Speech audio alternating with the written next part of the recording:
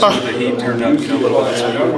Well, uh, I think, man, for the most part, that we've been doing well. Uh, still got a lot of things we need to grow in, areas we need to grow in, a lot of things we need to clean up and do. Uh, but uh, their, their energy, their effort, uh, you know, we've done well with that. What did you see on the scrimmage? What did you like out of that? Well, uh, just trying to build some depth, just trying to build some consistency. Uh, we saw some good things, and we saw some things that we need to work on.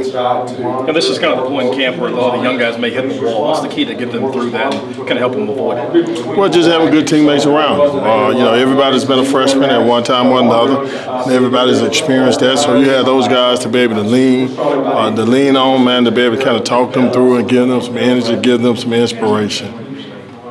What freshmen have stood out so far?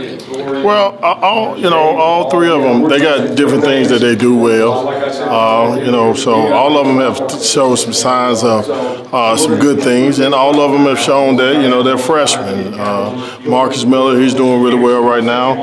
Uh, Enoch and Torin, uh, both of them are doing uh, well. You know, uh, Torin just had a moment, man. He had a little shoulder injury, so.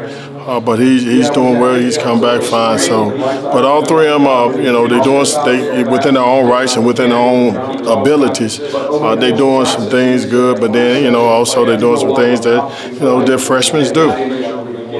Who are some guys other than Sosa who stepped up as leaders in fall camp?